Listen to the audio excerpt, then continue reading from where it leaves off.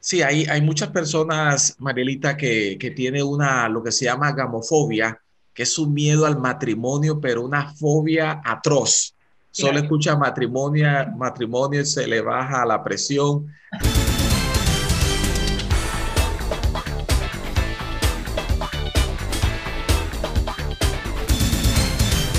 Estoy con Samuel Berlano, psicólogo y coach. Un tema a tratar es relaciones, eh, porque vamos a tratar el día de hoy, relaciones de pareja y el miedo a casarse.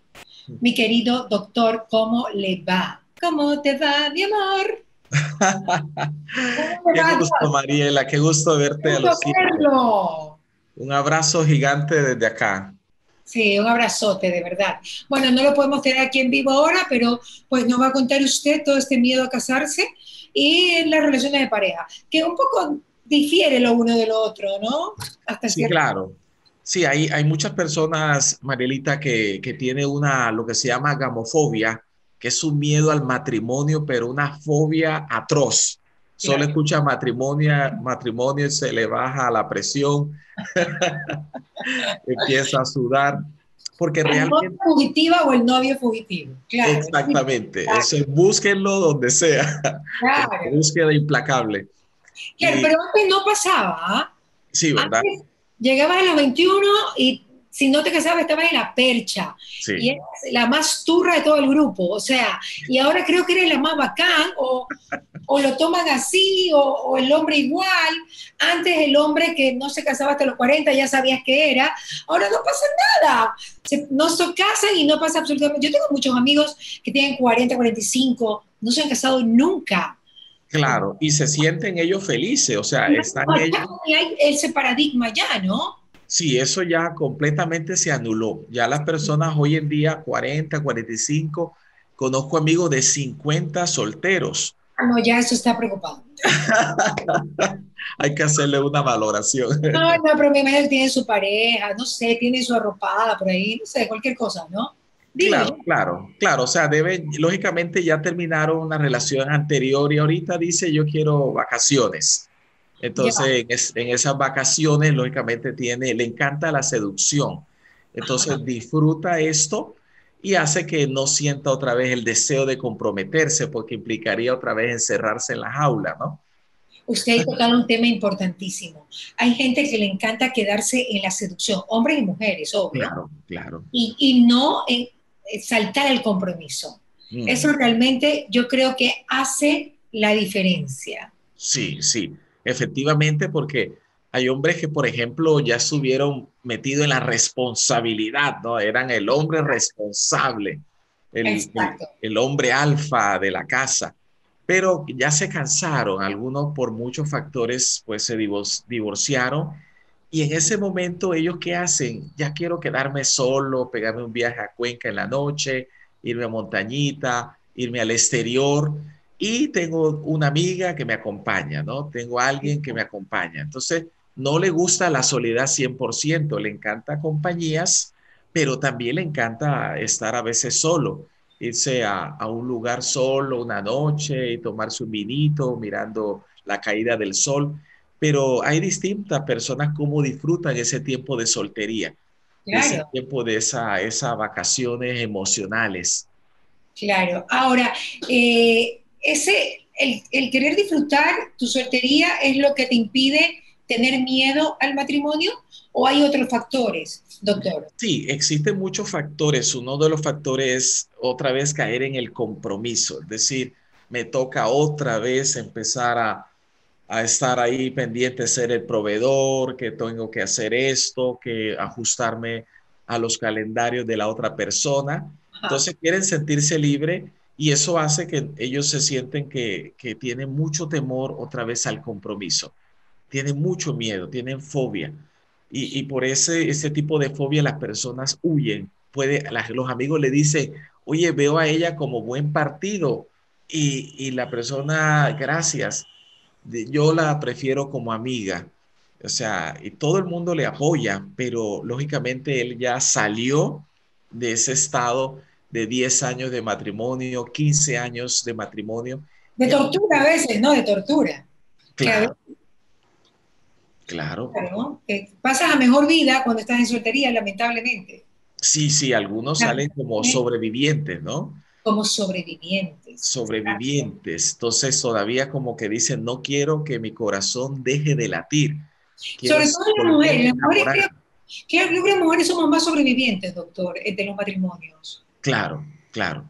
Sí, porque lógicamente, mira que lo que sucede, que algunas personas, aunque ya se casaron, eh, sintieron que nunca estuvieron preparados. Es decir, se casaron porque o la pareja quedó embarazada o por presión de la familia o porque no piense mal de él, etcétera. Pero realmente nunca él estuvo preparado emocionalmente, nunca había hecho, como se llama, una digestión mental, ¿no?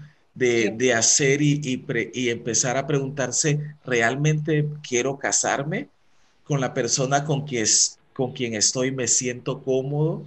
¿Me siento bien? ¿Me siento feliz? Y, y lógicamente durante ese proceso, la persona se casó, ¿verdad? Como esos, esos deportes extremos, se lanzó, ¿verdad? Al yogi jumping y lógicamente, lógicamente después sintió toda una clase de situaciones muy estresantes que ya ahora que sale del matrimonio se siente un sobreviviente, es decir, soy un soldado que salió vivo de la guerra, ¿no? Entonces, y eso hace que se quiera ahora disfrutar, vivir sin que tenga que estar pendiente de otra persona, solo él con su mundo. Ahora, ¿cuáles son los hombres o las mujeres que añoran sí volverse a casar? ¿Cuáles son sus características? El que sí quiere volverse a casar son personas que teniendo ya un divorcio o estando soltero, claro. Eh, ya han, por ejemplo, la persona ya se ha hecho la pregunta, ¿realmente deseo casarme? Eh, y la persona con quien estoy, siento que esa persona yo le amo y me ama, o sea, nos sentimos compatibles disfrutamos cosas juntos, porque una de las cosas que genera tanto divorcio es la incompatibilidad. Hay uno que es loco y otro que es demasiado sobrio, miedoso y temeroso. Hay uno que dice, vámonos a esta noche a la playa. No, está, está loca, que vamos a ir a la playa esta hora, o sea, mañana, que te fumaste algo. Entonces, y, y muchas personas, lógicamente, no son compatibles no acolita el uno al otro. Entonces, eh, para que exista una relación que genere como tu radio fuego, eh, tiene que efectivamente haber esa compatibilidad de disfrutar la compañía, colitar las locuras, porque eso hace que la relación se sienta con esa llama y ese fuego ardiente todo el tiempo. Entonces, todo lo disfruta, lo hace sentir feliz constantemente, todo el tiempo. Entonces, y eso hace que... Y eso se va mermando la relación. Definitivamente. Claro, si hay compatibilidad, se mantiene, ¿verdad? El, nivel de la curva no es muy baja, eh, se mantiene en una curva muy buena. Pero cuando no hay compatibilidad, entonces ¡prum! vienen esos bajones. Y, y lógicamente que eso hace uno de los dos se frustra y dice, ah, ¿cómo por qué me casé? Entonces se arrepiente por qué se casó bueno, uno cuando está en el matrimonio siempre se va a estar arrepintiendo de por qué se casó. Yo no creo que ninguno no se plantee eso. Sí, sino que algunos se arrepienten todos los días. no,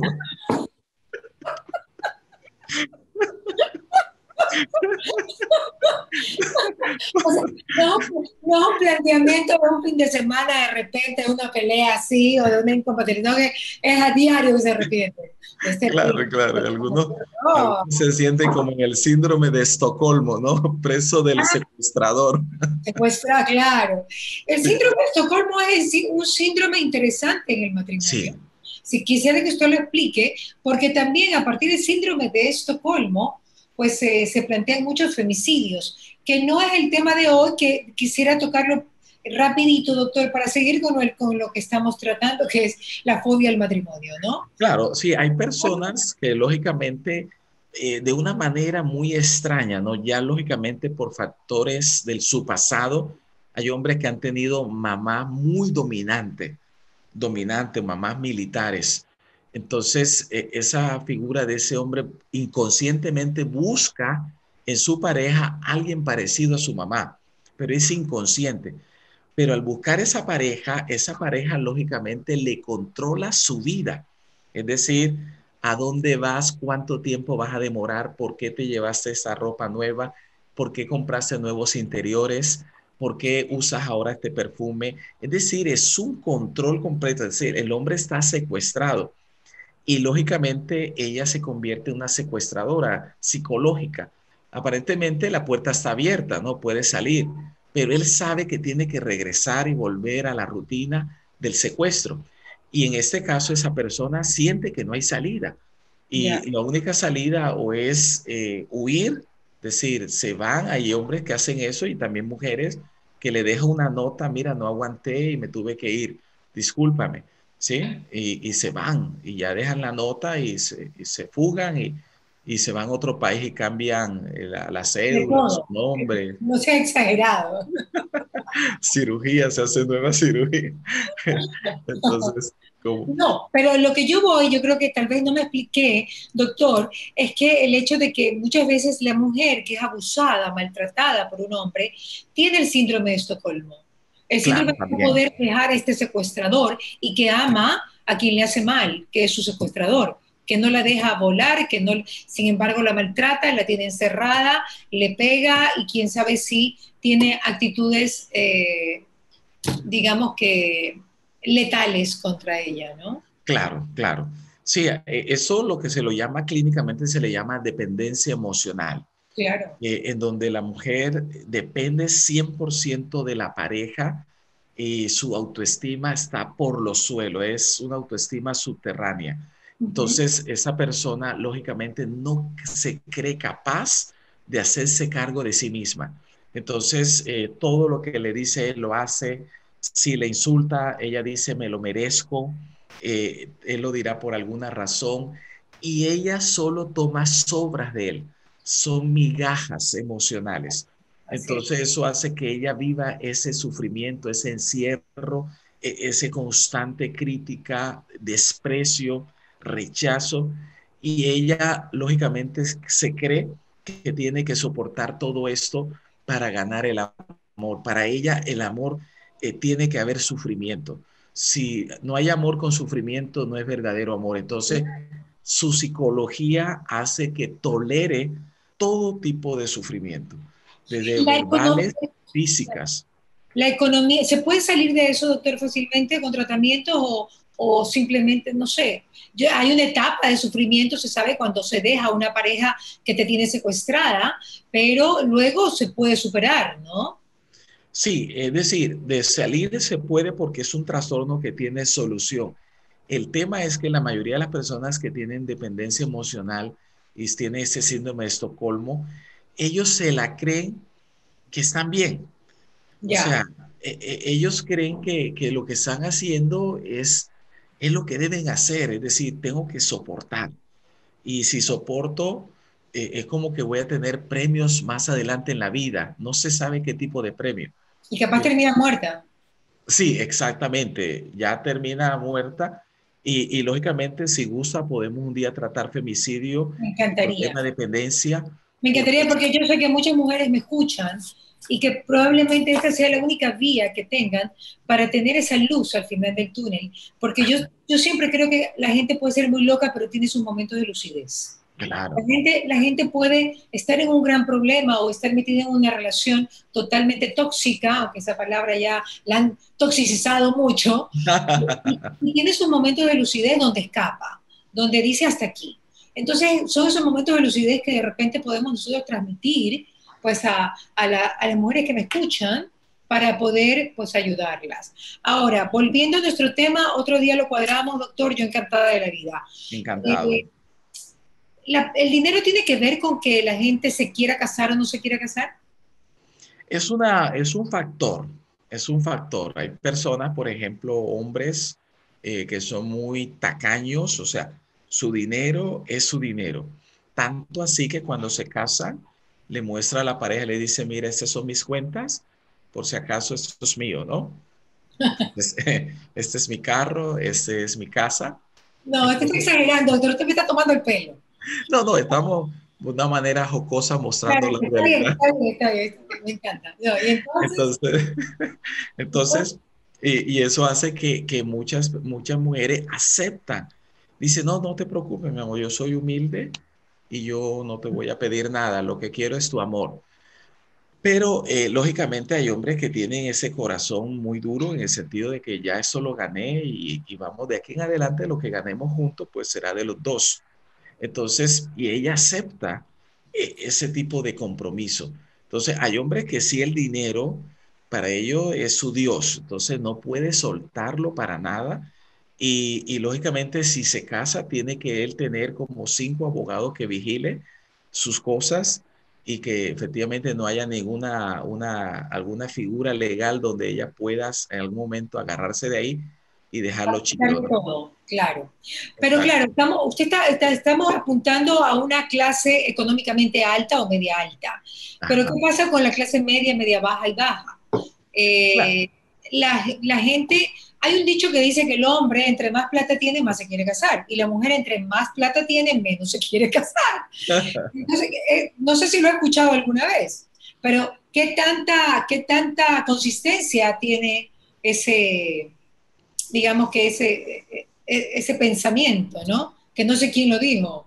Sí, es relativo, es relativo, dependiendo la, la crianza que tuvo este hombre, ¿no? Por, por ejemplo, porque hay hombres que se crían con hogares muy generosos, muy colaboradores, porque la familia forma al ser humano y la familia te deja adentro de tu mente eh, lo que se llama el papá interno y la mamá interna.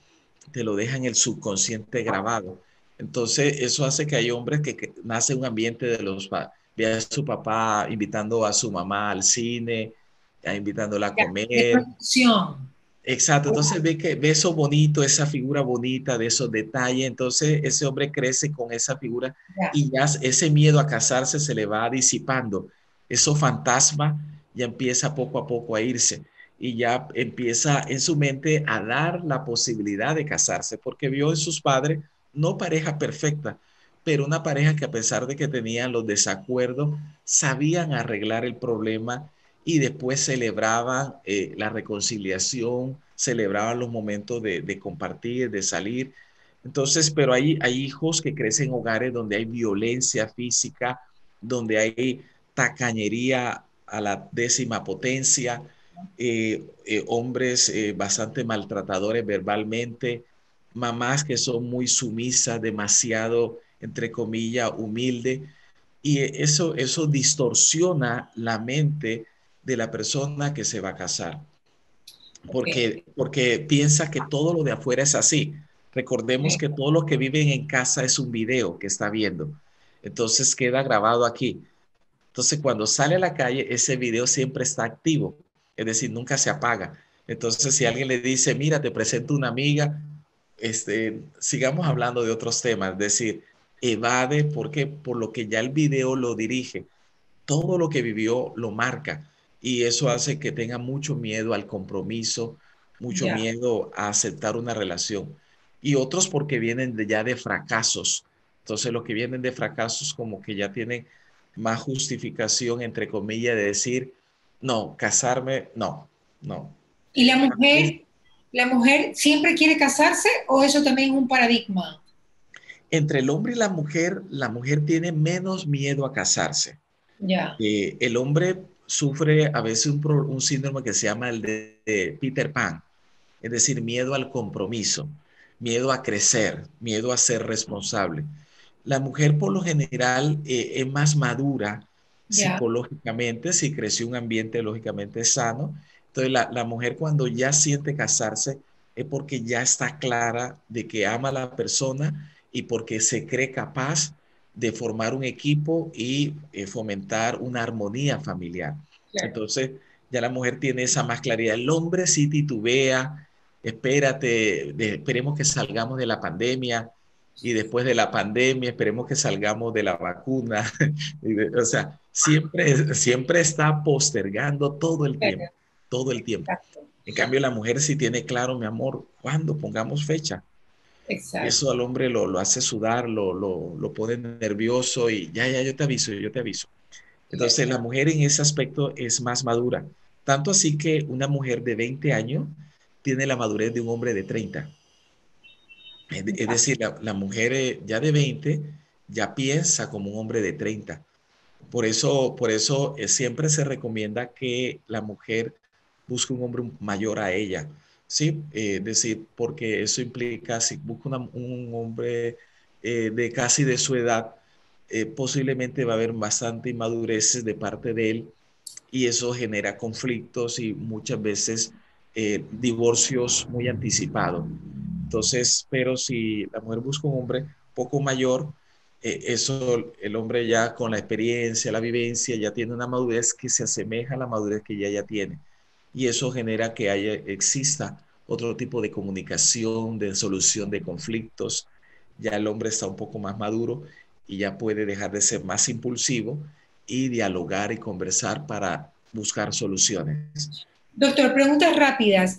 Eh, cuando, cuando uno siente, por ejemplo, estoy viendo la serie The Crown, la de Diana, y estoy en, el momento en que el príncipe Carlos se casa con ella estando enamorado de eh, Sara, de, ¿cómo se llama? De, Camila Parker. Eh, ¿Pasa muy seguido eso? ¿Que el hombre o la mujer se casen con alguien de quien no están enamorados? A veces sí, a veces sucede. A veces, o, sí. O sea, porque, eso, es un tema de realeza, necesitaba que se case con Diana, pobrecita, pero eh, digo yo, eso pasa muy seguido, porque eso es perder el tiempo, porque te entras a una vorágine espantosa de vida, ¿no? Claro, claro. Porque mira que eh, hay veces personas que se enamoran eh, cuando están enamorados, tienen bastante, bastante energía e impulso de casarse. Porque están enamorados, entonces casémonos y entonces otra vez vamos al deporte extremo y se casa. Y, eh, la etapa del enamoramiento dura aproximadamente tres años. Tres. Tres. Entonces, ya después del enamoramiento, ya baja el enamoramiento, pero la relación de esa pareja sigue, pero siente que algo pasó. Piensa que se acabó el amor. No, lo que se acabó fue esa, ese apasionamiento, esa adrenalina del enamoramiento. Pero luego de los tres años, ellos piensan que se acabó el amor. No, ahora ya lo que se llama el huracán emocional que tenían ya se fue. Ahora los dos están para conversar con más madurez ¿qué vamos a hacer? Ahora, muchas parejas que hacen, se terminó el enamoramiento, continúan tres, cuatro años juntos, pero ya sienten como que se terminó el amor. Ya, aburrimiento. Aburrimiento, y ya ve a su pareja como el hermano, ya. su hermana, es decir, este mamá, este eh, viene, este, ya ni le dice mi novio, mi, mi pareja o mi amor, sino ya viene Michael hoy a merendar acá con nosotros para que tenga en cuenta. Ah, ok. Es decir, ya él ya no genera, ya no hay esa chispa. Claro, claro, claro, yo entiendo, yo entiendo, pero aquí el caso es diferente porque este hombre en verdad estaba enamorado de otra por completo no estaba, o sí estaba. Estaba enamorado de otra por completo, de Camila Parker, con quien ahora está casado. O sea, después la pobre Diana se murió, los tuvo que soportar, se murió y se casó ya con, con la amante de toda la vida, ¿no? Entonces yo digo, ¿cómo hacer para que una mujer o un hombre, porque hay, hay dos, ayer hablaba con, con alguien que me decía, estuve eh, amarrado con una, con una persona hasta hace seis meses, y yo pensé que iba a, funcionar la cosa y resulta que volvió con el ex que le hizo tanto daño. Entonces, eh, estas emociones que hacen que sigas enamorado de otra persona, eh, ¿cómo, ¿cómo hacer para no casarte mal? Para poder aguantar, así sea que estés a un día de decir sí, dejar ese matrimonio y decir no me caso porque este no es, o esta mujer diga este no es, o viceversa. Y tener pantalones para darte cuenta y no amargarte la vida para siempre. Porque casarse es una lotería, doctor. Si te casas mal, te fregaste. Te fregaste. Dice, la frase, te casaste, te fregaste. Si te casas mal, te fregaste. Claro. Ahora te voy a dar una información, eh, una información que de pronto antes no lo habías escuchado. Hoy en día ya tú puedes saber el perfil psicológico con claridad con la pareja con quien te vas a casar. ¿Cómo? En, otras palabras, así como las empresas, eh, para seleccionar a un personal a trabajar en su organización, le hace una serie de evaluación y entrevista. Y es para trabajar y te mandan como cinco personas que te entrevisten, test psicológico. Y mucha gente no se pregunta, oye, me voy a casar con alguien y ni siquiera nos hemos evaluado psicológicamente. No hemos evaluado si somos compatibles, si realmente está sano mentalmente, porque de pronto está casando con un psicópata. ¿sí? Y la persona no sabe. Entonces, eh, eh, basado en eso, eh, yo creé un sistema de medición psicológica de compatibilidad de pareja. Entonces, lo que hace es que la persona puede saber antes de casarse qué espera de él. Es decir, cuáles son las características que él ya va a tener de aquí hacia, hacia el futuro. Ya va a saber si es aburrido, si es apasionado, si, si es eh, perfeccionista, si es fiel. ¿Qué puede soportar y qué no? Porque hay defectos, todos, vienen, todos venimos con defectos. Este defecto lo puedo soportar, este no, me retiro. Exacto, y ya lo puedes ver desde ahora. De soltero ya puedes ver cómo va a ser la persona en la convivencia con ella o con él. Es decir, ya no tiene que decir, ay, me meto a esta película de la tercera. No, ya puedes ver ahorita si esa persona eh, es divertido. Ya. O sea, ya tú, si alguien dice, doctor, yo quiero casarme con un divertido, ¿puedes evaluar a mi pareja si es divertido? Bueno, pero a ver, es, hago la valoración. Es divertido es evidente, pues, doctor. Son los rasgos pero, que Pero, pero recuerda que hay hombres que para conquistar hace un esfuerzo de mostrarse divertido. Claro, hay, hay, hombres que se toman unos tragos y empieza, bueno, ¿cómo es la cuestión? Vamos a ver, ¿dónde? ¿verdad? Pero ya en su soledad Se, se encamuflan y se quedan inertes, ¿no? Claro, ¿verdad? Pero, pero porque el hombre está en la fase de conquista, entonces en la fase de conquista tiene que mostrar la versión alegre, divertido, pero en el test no puede engañar al test.